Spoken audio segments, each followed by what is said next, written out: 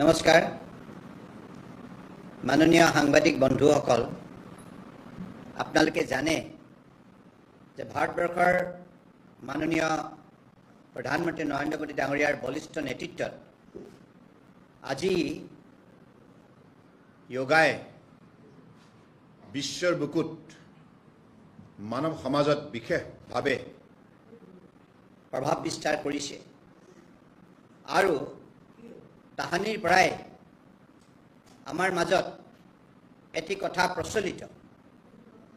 হাজাৰ হাজাৰ বছৰ আগতে যেতিয়া ঋষিমুনিসকলে তপস্যা কৰিছিল সেই তপস্যা কালতেই যোগ অভ্যাসৰ যোগেদি মানুহে জীৱনত কেনেধৰণে শান্তি বুটলিব পাৰে নিজৰ শৰীৰ আৰু মনটোক কেনেধৰণে সুন্দৰ কৰি ৰাখিব পাৰে সুস্থ কৰি ৰাখিব পাৰে সবল কৰি ৰাখিব পাৰে এই সত্যটো তেখেতসকলে আৱিষ্কাৰ কৰিছিল। আৰু তেতিয়াৰ পৰাই আমাৰ মাজত সকলোৰে মাজত এই কথাষাৰ অত্যন্ত গ্ৰহণযোগ্য হিচাপে প্ৰমাণ হৈছে। যোগ ফৰ নিৰোগ অৰ্থাৎ যোগ অভ্যাস যি ব্যক্তিয়ে কৰে সি সদায় নিৰোগী হৈ থাকিব পাৰে। কাৰণ যোগ অভ্যাসৰ যোগেদি মানুহে নিজৰ শৰীৰৰ সুস্থতা আৰু মনৰ সবলতা বৃদ্ধি কৰিব পাৰে আৰু আত্মাৰ সৈতে নিজক নিবিড়ভাৱে জড়িত কৰিব পাৰে। অৰ্থাৎ যোগ yoga that is is a science of body science of mind science of soul. It is a way of life. আৰু হাজাৰ হাজাৰ বছৰ কাল ভাৰতীয় সভ্যতা সংস্কৃতিৰ আজি এই উইক অভ্যাসক বিশেষভাৱে প্ৰাধান্য দি আহিছে। আৰু এনেধৰণে মানৱ সমাজে বিভিন্ন ৰোগৰ পৰা পৰিত্ৰাণ পাইছে আৰু জীৱনৰ বাটত আনন্দ বুটলিবলৈ সক্ষম হৈছে। কাৰণ যিকোনো ব্যক্তিয়ে সি যদি নিৰোগী হৈ থাকে সি মনে ভবাৰ দৰে কাম কৰিব পাৰে সমাজখনকো সেৱা কৰিব পাৰে আৰু কঠোৰ পৰিশ্ৰমত মগ্ন হ'ব পাৰে। গতিকে যোগৰ সেই শক্তি বিৰাজমান। গতিকে মাননীয় প্ৰধানমন্ত্ৰী ডাঙৰীয়াই বিশ্বৰ মানৱ সমাজক যেতিয়া এই আহ্বান জনালে জেনেৰেল এছেম্বলি ইউ এনৰ যেতিয়া প্ৰস্তাৱ ৰাখিলে দুহেজাৰ চৈধ্যত এই প্ৰস্তাৱ ইউ এন এছ গ্ৰহণ কৰাৰ পাছত আপোনালোকে জানে যোৱা দুহেজাৰ পোন্ধৰৰ পৰা নিৰন্তৰভাৱে প্ৰতি বছৰে একৈছ জুন তাৰিখটো ইণ্টাৰনেশ্যনেল ডে অফ য়োগা হিচাপে বিশ্বৰ মানৱ সমাজে ইয়াক নিষ্ঠাৰে পালন কৰি আহিছে। ইতিমধ্যে eight edition of yoga international day of yoga সফলভাৱে সমাপ্ত হৈছে যোৱা বছৰ একৈছ জুন তাৰিখে। মহীশূৰত কৰ্ণাটকাৰ মহীশূৰ চহৰত মাননীয় প্ৰধানমন্ত্ৰী ডাঙৰীয়াৰ নেতৃত্বত সেই যোগ আন্তঃৰাষ্ট্ৰীয় যোগ দিৱস সফল কৰা হৈছিল। আৰু কেৱল ভাৰতবৰ্ষতেই নহয় বিশ্বৰ এশ তিৰানব্বৈখন ৰাষ্ট্ৰই এই যোগ অভ্যাসত তেখেতসকল চামিল হৈছিল আৰু এশ পঁচিছ কোটি জনগণে বিশ্বৰ বুকুত যোগ অভ্যাসত জড়িত হৈছে এনেধৰণে প্ৰতি বছৰে য়োগাৰ লোকপ্ৰিয়তা বৃদ্ধি পাইছে বিশ্বৰ বুকুত আৰু এইবাৰো একৈছ জুন তাৰিখে মাননীয় প্ৰধানমন্ত্ৰী ডাঙৰীয়াৰ বলিষ্ঠ নেতৃত্বত ইণ্টাৰনেশ্যনেল ডে অফ য়োগা ভাৰতবৰ্ষত লগতে বিশ্বৰ বুকুত ইয়াক পালন কৰা হ'ব। ইয়াৰ বাবে যিখিনি প্ৰস্তুতি আয়ুষ মন্ত্ৰালয়ৰ তৰফৰ পৰা মাননীয় প্ৰধানমন্ত্ৰী ডাঙৰীয়াৰ নিৰ্দেশত আয়ুষ মন্ত্ৰালয়ে নডেল মিনিষ্ট্ৰী হিচাপে ভাৰতবৰ্ষৰ অন্যান্য কেন্দ্ৰীয় চৰকাৰৰ বিভিন্ন মন্ত্ৰালয় আৰু বিভাগৰ সৈতে মিলি আৰু ৰাজ্য চৰকাৰসমূহৰ সহযোগত আৰু বিভিন্ন সংস্থাসমূহৰ যোগ গুৰুসকলৰ সহযোগত আমি প্ৰতি বছৰে এই ইণ্টাৰনেশ্যনেল ডে অফ য়োগাক সফল ৰূপ দি আহিছোঁ। আৰু এইবাৰো আমি ইণ্টাৰনেশ্যনেল ডে অফ য়োগা একৈছ জুন তাৰিখে হ'ব। ইয়াৰ পূৰ্বতে hundred days countdown seventy five days countdown fifty days countdown twenty five days countdown এই কাৰ্যসূচী আমি সফল ৰূপ দিওঁ। এইবাৰ অসমত অসম চৰকাৰৰ সহযোগত আমি আয়ুষ মন্ত্ৰালয় ডিব্ৰুগড় বিশ্ববিদ্যালয়ৰ সহযোগত ডিব্ৰুগড় বিশ্ববিদ্যালয়ৰ চৌহদত অহাকালিলৈ seventy five days countdown for international day of yoga কাৰ্যসূচী সফল ৰূপ দিয়া হ'ব। গতিকে এই কাৰ্যসূচীত উত্তৰ পূৰ্বাঞ্চলৰ কেইবাগৰাকীও বিশিষ্ট ব্যক্তিয়ে অংশগ্ৰহণ কৰিব। তাৰ ভিতৰত আছে ত্ৰিপুৰাৰ মুখ্যমন্ত্ৰী প্ৰফেচাৰ ডক্টৰ মানিক চাহা ডাঙৰীয়া। অৰুণাচলৰ উপ মুখ্যমন্ত্ৰী আছে সোণা মেইন ডাঙৰীয়া। আৰু আমাৰ কেন্দ্ৰীয় চৰকাৰৰ মাননীয় মন্ত্ৰী ডক্টৰ ৰাজকুমাৰ ৰঞ্জন সিং ডাঙৰীয়া আছে অসমৰ স্বাস্থ্যমন্ত্ৰী কেশৱ মহন্ত ডাঙৰীয়া আছে মণিপুৰৰ স্বাস্থ্যমন্ত্ৰী ডক্টৰ চাপাম ৰঞ্জন সিং ডাঙৰীয়া আছে অসমৰ উদ্যোগ মন্ত্ৰী বিমল বৰা ডাঙৰীয়া আছে আৰু অৰুণাচলৰ স্বাস্থ্যমন্ত্ৰী আলো লিবাং ডাঙৰীয়া আছে মেঘালয়া স্বাস্থ্যমন্ত্ৰী ডক্টৰ মাজেল আম্পাৰেন লিংডো ডাঙৰীয়া আছে। ছিকিমৰ স্বাস্থ্যমন্ত্ৰী urban minister L B Das ডাঙৰীয়া আছে। কেন্দ্ৰীয় মন্ত্ৰী ৰামেশ্বৰ তেলী ডাঙৰীয়া আছে। আৰু অসম চৰকাৰৰ মাননীয় মন্ত্ৰী সঞ্জয় কিষাণ ডাঙৰীয়া আছে। হাউচপেডৰ অধ্যক্ষ অসম চৰকাৰ প্ৰাক্তন মন্ত্ৰী ভৱেশ কলিতা ডাঙৰীয়া আছে। আমাৰ ডিব্ৰুগড়ৰ স্থানীয় বিধায়ক এ আই ডি চিৰ অধ্যক্ষ প্ৰশান্ত ফুকন ডাঙৰীয়া আছে। ভাৰত চৰকাৰৰ আয়ুষ মন্ত্ৰালয়ৰ সচিব পদ্মশ্ৰী বৈদ্য ৰাজেশ কোটেচা ডাঙৰীয়া আছে। আৰু ডিব্ৰুগড় বিশ্ববিদ্যালয় উপাচাৰ্য ডক্টৰ প্ৰফেচাৰ জিতেন হাজৰিকা ডাঙৰীয়া। এখেতসকলে অহাকালিলৈ অংশগ্ৰহণ কৰাৰ বিষয়ে আমাক অৱগত কৰিছে। গতিকে আপোনালোকে জানে যে yoga for better health and mind. Yoga for healthier and happier tomorrow' গতিকে এই গোটেই সত্যবিলাক আজি মানৱ সমাজে যোগ অভ্যাস কৰি ইতিমধ্যে গভীৰভাৱে উপলব্ধি কৰিছে।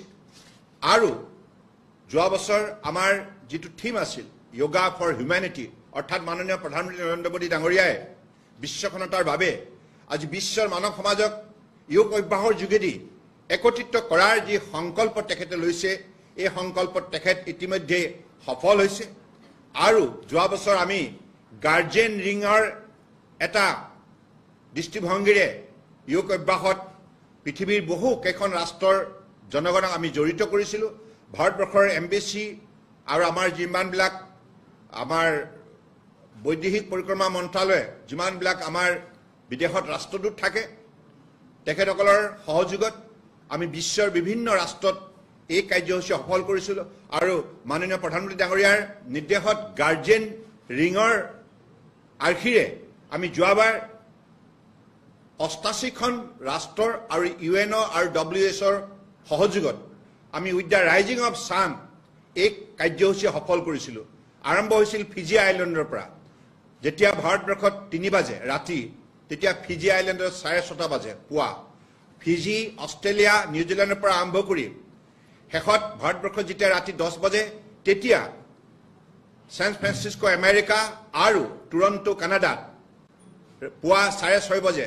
তেনেধৰণে বিশ্বৰ অষ্টাশীখন ৰাষ্ট্ৰ যোৱাবাৰ গাৰ্জেন ৰিঙৰ যোগেদি এই যোগ অভ্যাসত জড়িত হৈছিল। এনেধৰণে প্ৰতি বছৰে উল্লেখযোগ্যভাৱে এই ইণ্টাৰনেশ্যনেল ডে অফ য়োগাক সফল ৰূপ দিয়া হৈছে। গতিকে মই আহ্বান জনাইছোঁ যে আমাৰ মাননীয় সাংবাদিক বন্ধুসকলেও আপোনালোকে এই অভ্যাসত জড়িত হওক আৰু আমি প্ৰাইভেট ছেক্টৰৰ যিমানবিলাক আমাৰ ইণ্ডাষ্ট্ৰী আছে তেখেতসকলকো আমি য়োগা য়োগা চেল নিজ নিজ ইণ্ডাষ্ট্ৰীৰ চৌহদত ডেভেলপ কৰিবৰ বাবে আহ্বান জনাইছোঁ।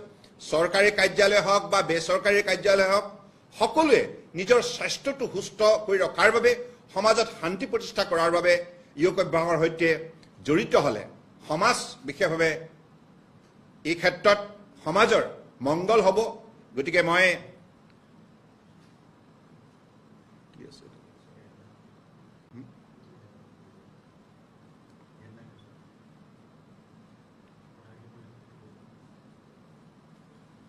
আমি তেনেধৰণে সকলোকে আহ্বান জনাইছোঁ। আৰু যেনেধৰণে যোৱা বছৰ যিটো বৃহৎ সংখ্যাৰ জনসাধাৰণ জড়িত হৈছিল বিশ্বৰ বুকুত তেনেধৰণে এইবাৰো নিশ্চিতভাৱে গাঁৱে গাঁৱে প্ৰতিখন চহৰৰ প্ৰতিটো পৰিয়ালৰ যাতে যোগ অভ্যাসৰ সৈতে সকলোৱে জড়িত হয় তাকে আমি আন্তৰিকতাৰে প্ৰাৰ্থনা জনাইছোঁ। অৰ্থাৎ প্ৰতিটো পৰিয়ালে নিজৰ চোতালতে যদি আমাৰ যিখিনি আমাৰ ৱাই ব্ৰেক এপ্লিকেশ্যন যিটো আমাৰ আপলোড কৰা আছে ইয়াৰ যোগেদি যিখিনি ডেমনষ্ট্ৰেশ্যন আছে তেনেধৰণে যদি সকলোৱে অভ্যাস কৰে মই ভাবোঁ এই কাৰ্যসূচীক আমি সকলোৱে মিলি সফল কৰি তুলিব পাৰিম। আৰু লগতে আপোনালোকে জানে যে বৰ্তমান য়োগাৰ জনপ্ৰিয়তাই বিশ্বৰ বুকুত উঠি অহা প্ৰজন্মৰ বাবে কৰ্ম সংস্থাপনৰ দিশ মুকলি কৰিছে। কাৰণ এতিয়া Morarji Desai national institute of yoga এই টলেষ্ট ইনষ্টিটিউট দিল্লী আছে এই ইনষ্টিটিউটৰ যোগেদি এতিয়া বিভিন্ন ঠাইত বিভিন্ন শিক্ষানুষ্ঠানৰ সৈতে আমি বিভিন্ন চুক্তিত আমি জড়িত হৈছোঁ। যেনেধৰণে ডিব্ৰুগড় বিশ্ববিদ্যালয়টো অহাকালিলৈ তেনেধৰণে এখন চুক্তি স্বাক্ষৰ কৰা হ'ব। ইয়াৰ যোগেদি দেশাই নেশ্যনেল ইনষ্টিটিউট অফ য়োগাৰ প্ৰশিক্ষকসকলে সেই শিক্ষানুষ্ঠানত পৰীক্ষণ দিয়াৰ ব্যৱস্থা কৰিব। পৰীক্ষণ সম্পূৰ্ণ হোৱাৰ পাছত চাৰ্টিফিকেট দিব আৰু সেই চাৰ্টিফিকেটখন কেৱল ভাৰতবৰ্ষতে নহয় বিশ্বৰ বিভিন্ন ৰাষ্ট্ৰত সেইখন গৃহীত হ'ব। সেইখন স্বীকৃতিপ্ৰাপ্ত এখন চাৰ্টিফিকেট হ'ব যিখন চাৰ্টিফিকেটৰ আধাৰত আমাৰ উঠি অহা প্ৰজন্মই যদি য়োগাৰ যোগেদি যদি পৰীক্ষণ প্ৰাপ্ত হয় তেতিয়া কৰ্ম সংস্থাপন সুন্দৰভাৱে পাব পাৰে। গতিকে য়োগাৰ যোগেদি এটা মেজৰ টুৰিষ্ট ডেষ্টিনেশ্যন হিচাপে অসমক আমি গঢ় দিব পাৰোঁ ভাৰতবৰ্ষক গঢ় দিব পাৰোঁ। গতিকে মাননীয় প্ৰধানমন্ত্ৰী ডাঙৰীয়াই সেইটোৱে বিচাৰিছে। যে বিশ্বৰ এতিয়া প্ৰতিগৰাকী ব্যক্তিয়ে নিজৰ স্বাস্থ্যটোক লৈ এতিয়া চিন্তিত। গতিকে কোভিড মহামাৰীৰ সময়ত ৰাইজ যথেষ্ট বিপদত পৰিছিল আৰু সেই সময়তো যোগ অভ্যাসৰ যোগেদি বহু কৌটি কৌটি জনসাধাৰণে এই সংক্ৰমণৰ পৰা নিজক ৰক্ষা কৰিবলৈ সক্ষম হৈছিল। গতিকে মই ভাবোঁ যে এই যিটো য়োগাৰ যিটো শৰীৰৰ বিজ্ঞান মনৰ বিজ্ঞান আছে এই বিজ্ঞানটোক মানুহে উপলব্ধি কৰক আৰু নিজে সুস্থ হৈ থাকক। সমাজখন সুন্দৰ কৰি ৰাখক নিৰোগী কৰি ৰাখক আৰু সমাজখনে ভবাৰ দৰে কঠোৰ পৰিশ্ৰমৰ যোগেদি আমি আমাৰ ভৱিষ্যত উন্নয়নৰ ক্ষেত্ৰত আগুৱাই নিব পাৰোঁ। দেশখনক মাননীয় প্ৰধানমন্ত্ৰী ডাঙৰীয়াৰ নেতৃত্বত আটাইতকৈ শক্তিশালী ৰাষ্ট্ৰ হিচাপে বিশ্বৰ বুকুত প্ৰতিষ্ঠা কৰিব পাৰোঁ। সেই দৃষ্টিভংগী আমি আগন্তুক দিনত আগবাঢ়ি যাব লাগিব। গতিকে মই আশা ৰাখিছোঁ আমাৰ সাংবাদিক বন্ধুসকলে আপোনালোকৰ বিভিন্ন হাউচ আছে। এই হাউচতো যদি এই যোগ অভ্যাস কৰাৰ আপোনালোকে যদি আৰম্ভ কৰে আপোনালোকে নিজেও আটাইতকৈ বেছি বেনিফিটেড হ'ব। কাৰণ আপোনালোকে সাংবাদিক বন্ধুসকলে বহুত পৰিশ্ৰম কৰিব লাগে। ৰাতিপুৱা গধূলি কেতিয়াবা দিনটোত আপোনালোকে মই দেখিছোঁ ওঠৰ ঘণ্টালৈকে পৰিশ্ৰম কৰিব লাগে চৈধ্য ঘণ্টালৈকে পৰিশ্ৰম কৰিব লাগে। সেই সময়ত আপোনাক নিজকে এই মানে কঠোৰ পৰিশ্ৰমৰ সময়ত যাতে শৰীৰ আৰু মনটো দুৰ্বল হৈ নাযায় তাৰ কাৰণে আপোনালোকে আমাৰ যিটো ৱাই ব্ৰেক এপ্লিকেশ্যন আছে ফাইভ মিনিটছৰ সেইটো আপোনালোকে কৰ্মস্থানতেই আপোনালোকে সেইটো চেষ্টা কৰিব পাৰে। কাৰণ সেই অভ্যাসটো যদি আপোনালোকে কৰে তেতিয়াহ'লে একটো হ'ব আপোনালোকৰ ডি ষ্ট্ৰেছ অৰ্থাৎ যিটো ষ্ট্ৰেছ হ'ব দীঘলীয়া সময়ৰ কাৰণে কাম কৰাৰ বাবে সেইটো ডি ষ্ট্ৰেছ হ'ব সেইটো আঁতৰ হ'ব। আকৌ ৰিফ্ৰেছ কৰিব মনটো মনটো সতেজ হ'ব। তাৰপাছত আপুনি নিজৰ কামত ৰিফ'কাছ কৰিব পাৰিব। এই তিনিটা বিষয়ত ই সহায় কৰে। Destress refresh and refocus to your job গতিকে পাঁচ মিনিট আপোনালোকে কৰিলেই হ'ব নিবৰ য'ত আপুনি কাম কৰি আছে তাতেই কৰিলে হ'ব। তাত প্ৰট'কলটোত আপোনালোকে সেইটো নিশ্চিতভাৱে উলিয়াই পেলাই চালেই হ'ল যে তাত সম্পূৰ্ণৰূপে ডেমনষ্ট্ৰেটিভ এটা প্ৰশিক্ষণ দিয়া হৈছে। গতিকে সেইখিনি আপোনালোকে যদি আয়ত্ব কৰি লয় you will all be individually benefited আৰু এতিয়া সেইটো আমি এইকাৰণে আয়ুষ মন্ত্ৰালয়ৰ তৰফৰ পৰা আমি প্ৰৱৰ্তন কৰিছোঁ যাতে নিজৰ কৰ্মস্থানতেই প্ৰতিগৰাকী কৰ্মচাৰীয়ে কেতিয়াবা দীঘলীয়া সময়ত কাম কৰিব লগা হ'লে নিজৰ স্বাস্থ্যটো সবল কৰি ৰাখিব লগা হ'লে মনটো সতেজ কৰি ৰাখিব লগা হ'লে সেই যদি অভ্যাস আপোনালোকে কৰে নিশ্চিতভাৱে আপোনালোকে সকলোৱে সুৰক্ষিত হৈ থাকিব। গতিকে আজি আপোনালোকে জানে যে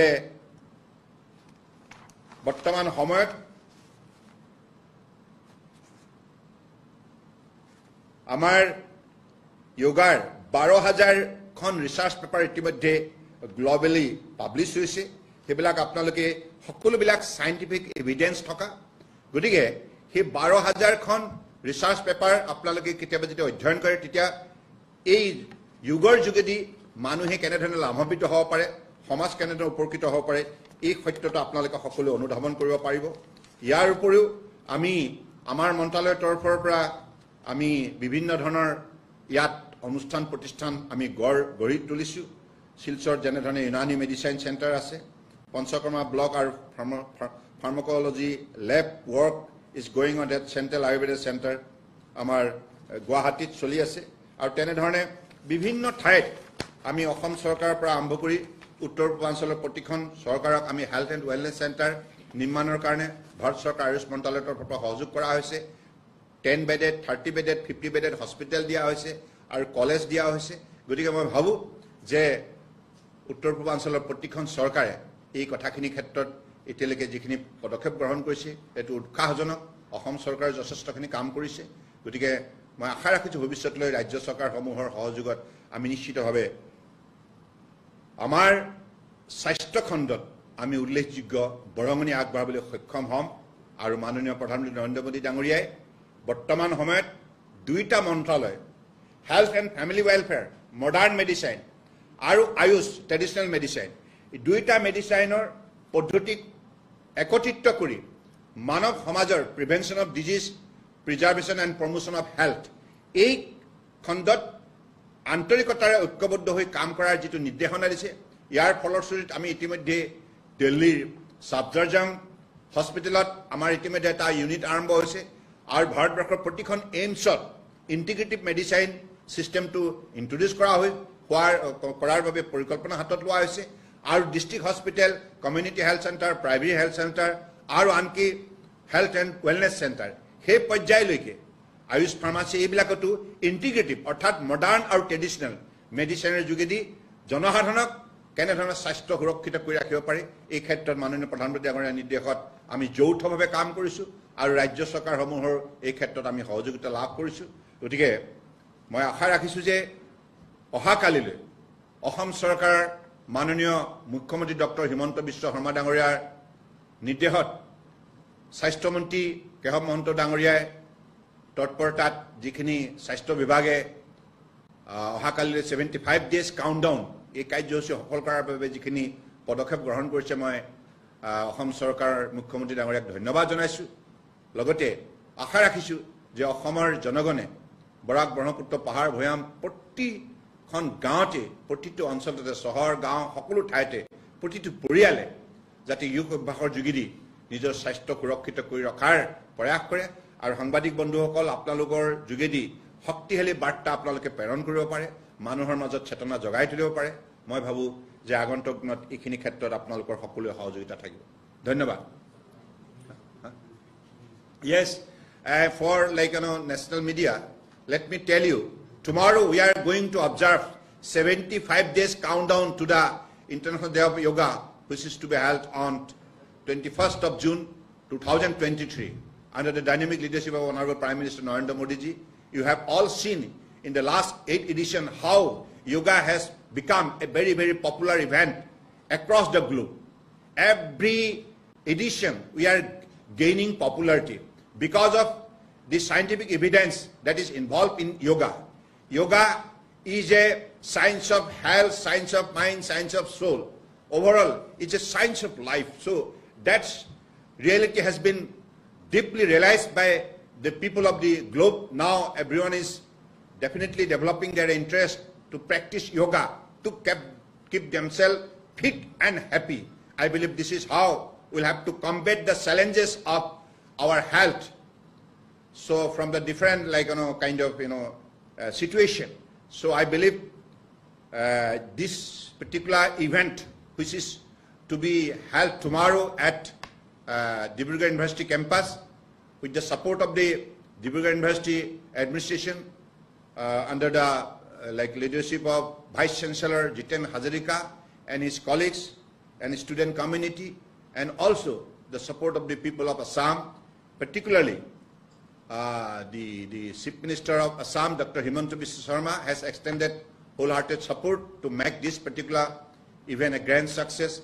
And I hope that with your uh, all-round support, we'll definitely be able to make this particular event a grand success in the Dibrugarh University campus.